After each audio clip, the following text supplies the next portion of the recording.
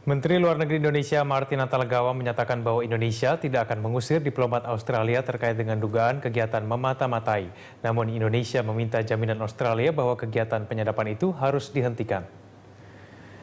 Indonesia masih menunggu konfirmasi Perdana Menteri Australia soal penyadapan itu.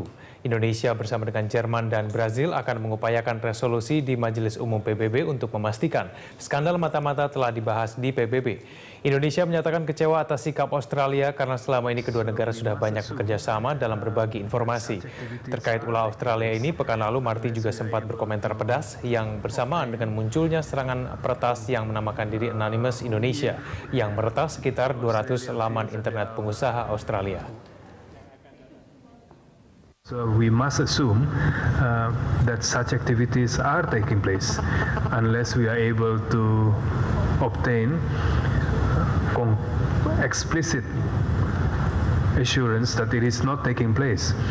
At the very least, what we need to be ensured is that it will no, no longer take place in the future.